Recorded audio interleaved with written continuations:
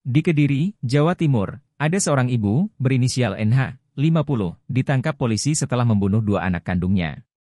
Kedua korban, berinisial B, 14, dan BN, 7, dibunuh saat sedang tidur di rumahnya pada Selasa, 3 September 2024, dini hari. Dugaan sementara, pelaku memiliki gangguan jiwa dan mengalami depresi.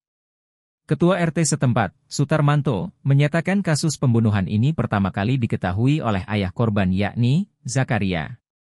Pada saat Ketua RT mendatangi lokasi kejadian, kedua anak tersebut sudah dalam kondisi meninggal dan berlumuran darah. Kasus ini kemudian dilaporkan ke pihak kelurahan setempat dan diteruskan ke polisi. Ayah korban sempat mendengar rintihan kedua anaknya dan melihat istrinya membawa celurit.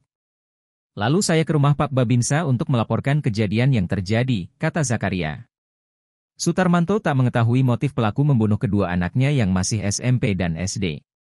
Menurutnya, pelaku memiliki riwayat gangguan jiwa dan sering marah-marah sendiri. Sepertinya begitu, mengalami depresi, ujar Sutarmanto.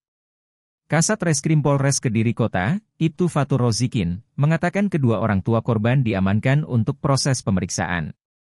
Lalu, korban dibawa ke RS Bayangkara Kota Kediri untuk dilakukan autopsi guna menentukan penyebab pasti kematian mereka.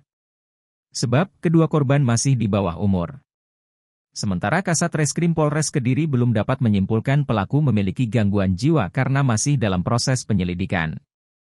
Download Tribun X sekarang, menghadirkan lokal menjadi Indonesia.